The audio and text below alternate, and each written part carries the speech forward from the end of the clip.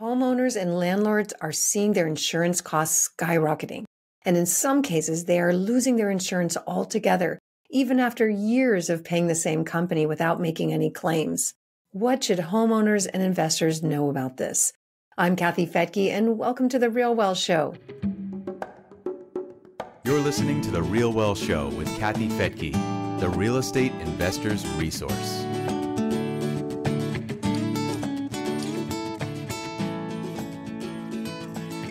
Well, our guest today is an expert in insurance with lots of years of experience, and he's here today to tell us what we should know.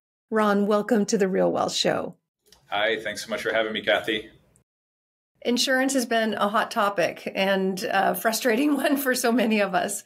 So let's just start with what is going on. Why have insurance rates gone up so dramatically across the country?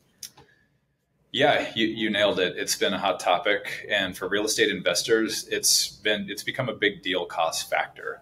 And really, there's a bunch of reasons, but there's two big ones. And the first one is there's been an increase in both the frequency and severity of natural disasters. Think hailstorms, wildfires, tornadoes. Even this past weekend, all through the middle of the country, I think there were upwards of 80 tornadoes.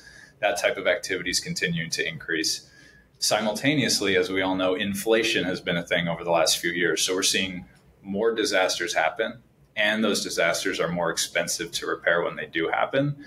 And that combination means insurance companies are having to increase their premiums to remain profitable. And in some parts of the country, they're just pulling out of the market altogether. Yeah, I'm in California and we've absolutely experienced that. And I understand. I mean, there's been wild, so many wildfires and they're so expensive However, there seems like it, it crosses over to states where it, they don't have that many issues. So, why is that? You know, just because something happens in one part of the country doesn't mean it's not impacting the insurance company's entire balance sheet. Is is the first part of the answer, and the second part is really just overall, we have seen more natural disasters all across the country, and even those areas that aren't so disaster prone, like Florida and California. So it's a combination of both of those things that the insurance companies are scrambling to keep up with. So, when an insurance company leaves a state and suddenly people who have been paying in for, for decades into the same company suddenly have nothing, I mean, what do they do? Where do they turn? It's a, that's that's a tough question because they have to turn to either the insurance companies that are still operating in that state. And California is the big example, right? You're seeing companies just leave left and right and, and everyone's looking for the next company to insure them. And sometimes there is none. And so, in a state like California, what you're seeing is people have to go to the state run market of last resort, which is the FAIR plan. And so, we're seeing more and more people where that's their only option. Same, uh, similar thing happening in Florida with their, their state run citizens program. More and more people are getting dropped from their coverage, not able to find replacement coverage, and having to fall back on the state run program. Yeah, and the coverage uh, through the state doesn't cover everything. So it, it's going to be really interesting to see if this continues. I mean, do you see it continuing to get worse or is there hope? You know, it's a really tough um, question. I think when you think about all the factors that are causing it to begin with, we're starting to see some promising news on inflation, maybe. And if that continues to level off and flatten out, that pressure will subside a little bit. The X factor continues to be the increase in natural disasters. And that one, we don't really know. I think if we continue to see an increase in activity, especially like we saw last weekend, uh, we're going to see insurance companies having to continue to raise rates more and more and continue to limit their exposure in risky markets. Uh, speaking for the conversations we have in the industry with our carrier partners, the tone is generally more optimistic than it was, you know, th- last year, but um, we're still not out of the woods. okay, yeah, I'd heard sort of whisperings that things were going to get better, but you're you're right. I mean, the question many people have is: Is there really an increase in these problems in these um, events or is it just more people more houses in places they shouldn't be you know in areas that have forest fires yes and yes we're, we're looking shows it's all the above it's an increase in the number of the uh, weather events that are happening. It's an increase in the cost because of inflation and material and labor costs. And, and, to your point, it's an increase in people moving to parts of the country and construction happening in parts of the country that are high risk, like Florida, for example. Yeah, it's interesting. We bought a brand new duplex through our network. We have, um, as you know, we have property teams across the country. Some of those are, are new builds; they're they're brand new homes.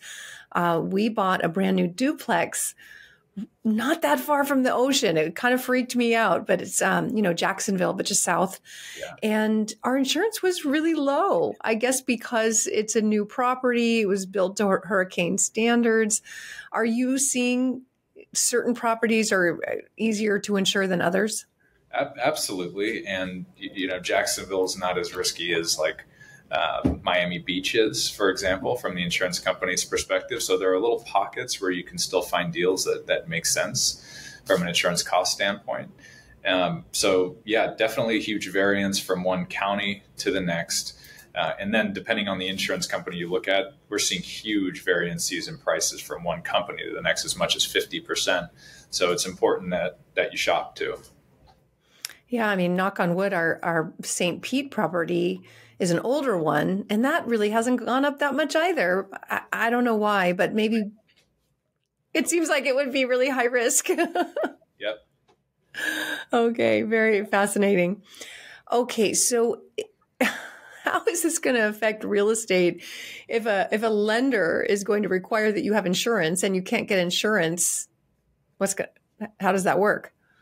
It's getting it's getting to become a really hot topic because um, in instances where the lender requires you have coverage, if you don't have coverage, they can, in many instances, buy forced place coverage on the property.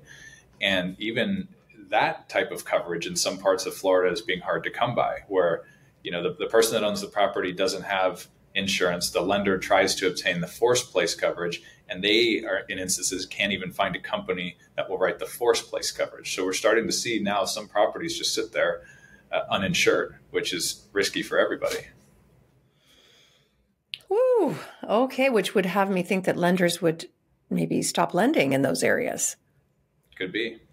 Yeah. Well, okay. Very dramatic and concerning. I wonder, has there been any talk on the federal government level of jumping in somehow and helping? I, I mean, how could they? I don't think that they're broke.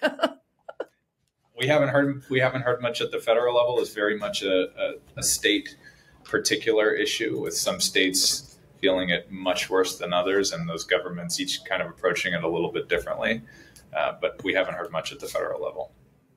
And then I don't know if you can speak to this, but multifamily properties have been extremely challenged as well. If you we're single family investors here for the most part, um, but multifamily, you have a whole building, you know, that you've got to insure, and in many cases can't. And then you know you've got a much bigger loan. There's more at stake. So uh, you know, what are you seeing there in the multifamily market? You know the issues we're talking about are impacting the insurance market as a whole the property and casualty insurance market. And so when you think about the subset of that market that is real estate investor insurance and then an even smaller subset of that would be multifamily real estate investor insurance it, it's generally harder and harder to obtain the coverage you need in, in a healthy market so as the market gets harder and harder, you're going to see more and more difficulty getting insurance for those more niche products. And, and multifamily, that, that's definitely a good example of that. Yeah. Okay. So your company offers insurance. What do we need to know about um, working with Steadily? You know, we, uh, we insure rental properties. That's what we exist to do. We're, we're live across the country and we've got probably 25 to 30 different carriers today that we shop from. So it's tough out there. It's uh, rates are high, availability is limited. What we can do is shop, and because of that, we're going to be pretty competitive because some companies are going to offer coverage where others won't, and that's where we come in to be able to help compare your options and see what's possible. And you are uh, in all 50 states except Florida and New York. We are we operate in all 50 states we have our own insurance products that we write in 48 states where we're not in Florida and New York, but in those states, we do have relationships with carrier partners that we can write coverage through. So, what should a landlord know in advance, you know, when getting their policy? It's obviously different than your primary residence. What are the the top three things that investors should be asking for?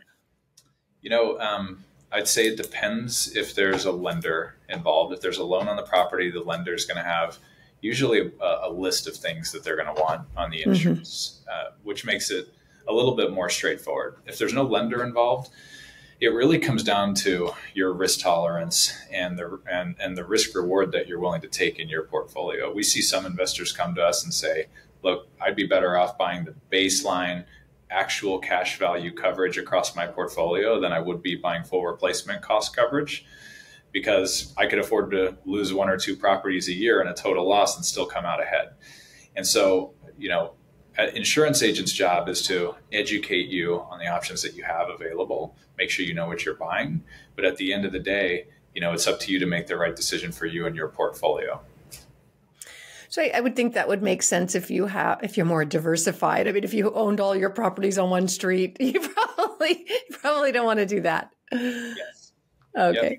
Yeah, so it all depends. I think the, the big things to, to your question are uh, replacement cost coverage versus actual cash value. Generally, investors will want to make sure that if something happens to the property, the insurance company is going to pay the cost to replace it today versus the cost minus the depreciation uh, on that property. Liability is is a hot topic for investors. A lot of investors want a million dollars worth of coverage and liability. Um, and then, you know, at that point, there's a lot of different optional coverages that you can choose from uh, water backup, different levels of personal property, depending on how many things you have in the property, and those types of things. Okay. Um, so, landlord insurance what else how is it different than your regular insurance you know you you probably want um, some coverage if if you i don't know loss of rent or you know what what kinds of options are available for the landlord Exactly. Loss of rents coverage is a popular one. So if there's a loss that's happened to a covered claim, tornado comes through and rips off the house and because rips off the roof of the house and because of that you can't have a tenant in there for three months, it will cover uh, the loss of rent.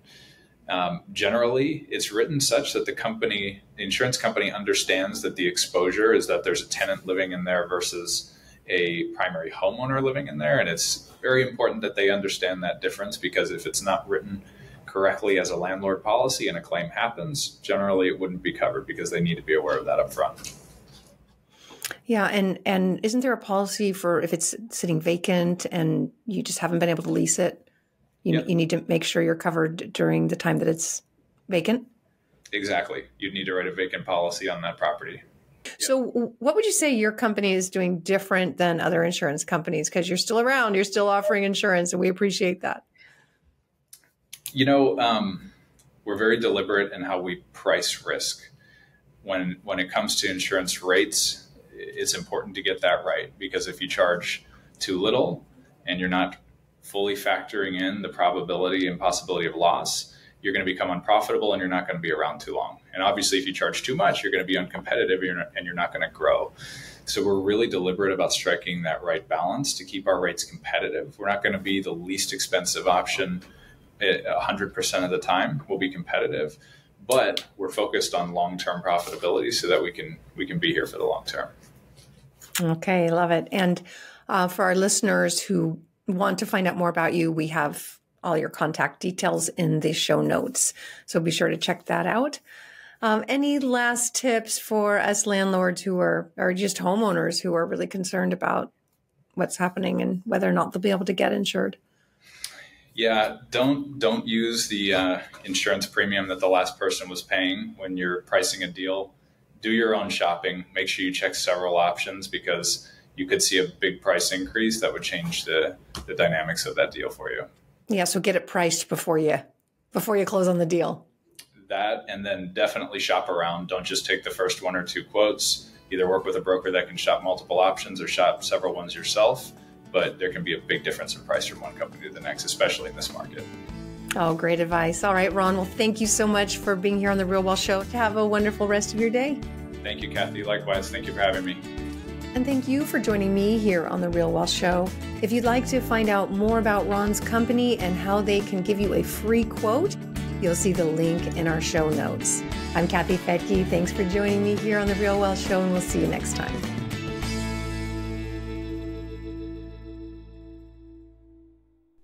Views and opinions expressed in this podcast are provided for informational purposes only and should not be construed as an offer to buy or sell any securities or to make or consider any investment or course of action. For more information, go to realwealthshow.com.